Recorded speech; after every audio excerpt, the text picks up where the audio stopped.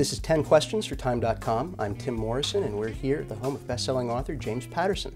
Thank you for having us. Don't make me sorry for having invited you. you have 180 million books uh, sold. All right um, in the house um, here somewhere. All right in the house here. The newest, Private, is out in June. Uh, you have three more due in the rest of the summer. Something like that. Uh, yeah. Something like that. Uh, this leads us to our first question from a reader. It's Marlene Jones in Amesbury, Massachusetts. What's the largest number of books that you've actively worked on simultaneously? In my office in Florida, I have, I think, 30 manuscript piles around the room, so around 30. So, some, some screenplays, and we have comic books and graphic novels. There's a lot of things that I do now. And you're working on all of them? Well, the I, they're all going at a, at a, at a given time. Uh, and, and, sometimes they can span two or three years of some are in outline form, some are almost done, some I'm, I'm, I'm rewriting. Constance Smith in Anaheim, California writes, uh, as an African American, I'm real impressed on how well you write Alex Cross and his family. Uh, how did you develop these characters? Uh, how did you research them? My grandparents had a small restaurant, and there was a, a, a, an African American woman who was the cook there. And she was having problems with her husband, and so she just moved into our house for a couple of years. I was a little kid. And she and, guy, and I got incredibly close, and I spent tons of times with her family. And her family was, they were a really wonderful family. The cooking was great, the music was great, they were very, the humor was great, the values were terrific.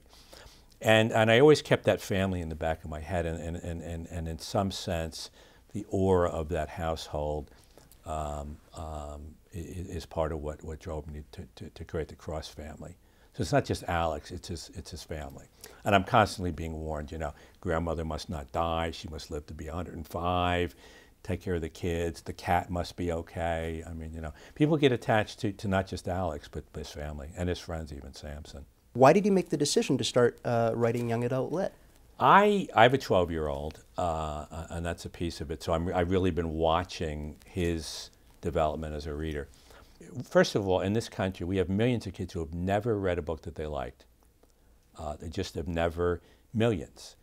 And I think that the best way to get not all kids, but most kids are reading is give them books they're going to love, and, and, and then they'll read more. What we did with Jack was when Jack was eight, he was a good reader, but he, but he wasn't really involved in it. And we said this summer, you're going to read every day. You don't have to cut the lawn, but you do have to read every day for you know, half an hour, hour, whatever. And the first summer it was, do I have to?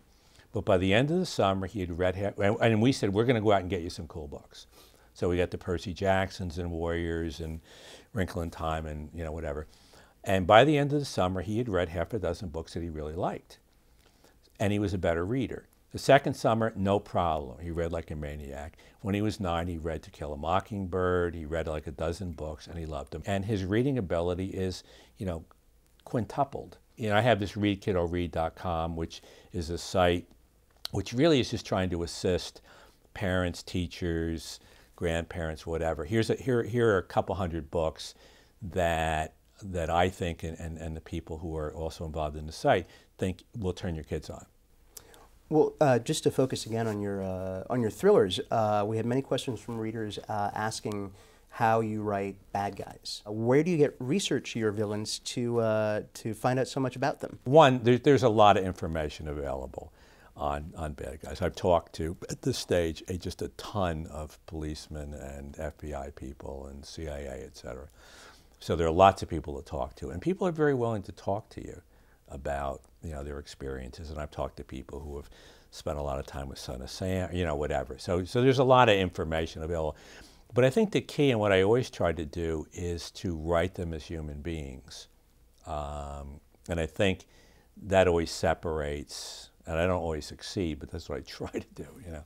And, and, I think that the good villains are, are, are, are kind of complex, and you recognize something about them. And I think the more identifications you make, uh, in some ways, the more satisfying it is. Donna Keeney in Nashville, Tennessee wants to know uh, what character out of all of your books would you say is most like yourself? Probably Alex. Probably Alex Cross. Yeah, I, I think Alex is, is a similar temperament.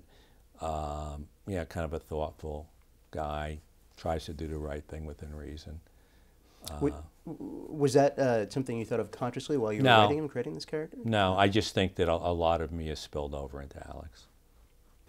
All right. Thanks so much again. That's been a delight.